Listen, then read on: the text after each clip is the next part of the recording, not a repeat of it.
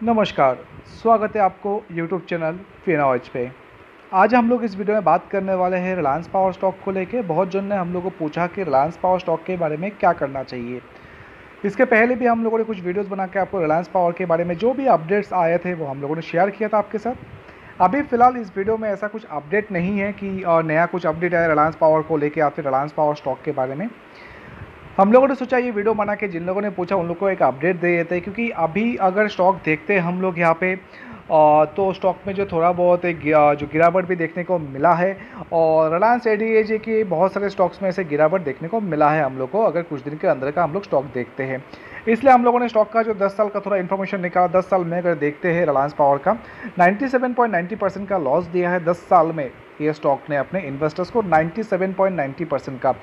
अगर आप देखते हैं, ऐसा बहुत ही कम कंपनी का इन्फॉर्मेशन मतलब ऐसा रहेगा कि इतना ज़्यादा लॉस दिया अपने इन्वेस्टर्स को। रिलायंस पावर और ए के ऐसे कुछ स्टॉक्स हैं, जिन लोगों ने ऐसा ज़्यादा ज़्यादा जो है लॉस दिया अपने इन्वेस्टर्स को। उसके बाद यहाँ पे अगर आगे का इन्फॉर्मेशन निकालते हैं, एक महीना का एक महीने के अंदर देखते हैं तो 1.20 परसेंट का लॉस दिया है। ये ज़रूर है कि एक महीने के अंदर स्टॉक में तेज़ी भी देखने को मिला है और स्टॉक में जो है एक गिरावट भी देखने को मिला है। मतलब अगर आपने स्टॉक लिया है और ज़्यादा प्राइस में बेचा तो आपको हो सकता है मुनाफा भी मिला रहेगा, लेकिन एक एक महीने के अंदर अगर हम लोग टोटल ये स्टॉक का टोटल इन्फॉर्मेशन निकालते हैं तो एक महीने में जो करीबन वन परसेंट का जो लॉस दिया है। रिलायंस पावर के बारे में इसके पहले जो भी इन्फॉर्मेशन आया था, जैसे कि रिलायंस पावर जो है बांग्लादेश ढाका में जापान के साथ मिलके एक प्रोजेक्ट पे ऊपर ये लोग काम शुरू कर रहे हैं, जो बहुत बड़ा एक प्रोजेक्ट है, वो सब हम लोगों ने इन्फॉर्मेशन दिया था। यहाँ पे एक हफ़्ते का बात करते हैं, एक हफ़्ते में जो दस टेन पॉइंट इलेवन परसेंट का यहाँ पे जो है मुनाफा हम लोग को देख माफ़ कीजिए लॉस हम लोग को देखने को मिला है टेन पॉइंट इलेवन परसेंट का। तो यहाँ पे अगर स्टॉक के बेसिस में आप देखते हैं, या फिर रिलायंस पावर का जो कंपनी बेसिस में आप देखते हैं, फ़िलहाल हम लोग को ये लग रहा है कि कंपनी ये स्टॉक का जो प्राइस थोड़ा और बढ़ सकता है। इतना ज़्यादा आप नहीं सोच सकते कि ये स्टॉक में बहुत ज़्यादा आपको मुनाफा मिल जाएगा। हाँ ये ज़रूर है स्टॉक में थोड़ा बहुत आपको मुनाफा दे सकता है, क्योंकि रिलायंस पावर का जो भी अभी ये लोग काम काज देख रहे हैं, फिर जितने भी प्रोजेक्ट्स हैं, या फिर नए नए भी प्रोजेक्ट्स ये लोग ले रहे हैं, बाहर की कंपनी के साथ जो है मिल के तो कंपनी जो है रिलायंस पावर अच्छा कर रहा है। हो सकता है कि आगे जाके इसमें और थोड़ा बहुत मुनाफा देखने को मिले। अगर आप नया स्टॉक खरीदना चाहते हैं तो कुछ दिन रुक के देख सकते हैं स्टॉक में क्या चल रहा है, उसके बाद आप ले सकते हैं। अगर आप इसमें लेके रखे हैं और मुनाफे में नहीं है तो कुछ दिन रुक के देख सकते हैं आप। हो सकता है कि ये बहुत जल्दी थोड़ा बहुत मुनाफा दे दे, ज़्यादा मुनाफा, जैसे कि आपको पता ज़्यादा मुनाफा नहीं दे सकता ये स्टॉक जल्दी में। बीएससी का हम लोगों ने देखा बी में traded volume 45 five lakhs fifty traded volume and face below ten का है। तो बीएससी का ये इन्फॉर्मेशन हम लोगों ने निकाला यहाँ पे एंड यहाँ पे आप देख सकते हैं बीट प्राइस क्वान्टिटी 3.42 का दिखा रहा है।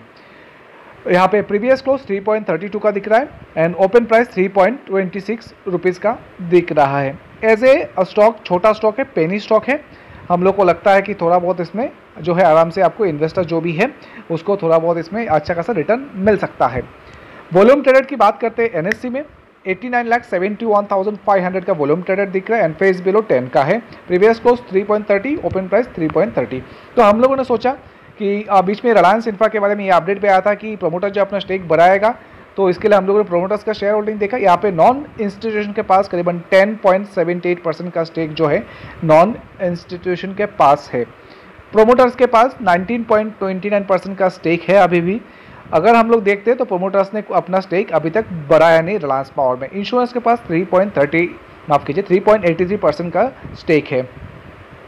जैसा कि कुछ महीना पहले अपडेट आया था कि रिलायंस पावर जो है अपना स्टेक बढ़ाएगा। प्रोमोटर्स जो अपना स्टेक बढ़ाएगा रिलायंस पावर के स्टॉक में बट ऐसा कुछ हुआ नहीं है। और यहाँ पे हम लोगों ने इसका स्क्रीनशॉट भी आपके साथ शेयर करने की कोशिश कर रहे हैं। स्क्रीनशॉट में यहाँ पे हम लोग देख रहे हैं कि प्रोमोटर्स का जो स्टेक है, वो कुछ भी चेंजेस नहीं हुआ है ये जून क्वार्टर में भी। तो अभी तक ऐसा कुछ भी अपडेट नहीं है। ये ज़रूर है कि कंपनी का जो भी प्रोजेक्ट्स है, उसमें ये लोग लगे हैं और ये लोग अच्छे खासे काम कर रहा है।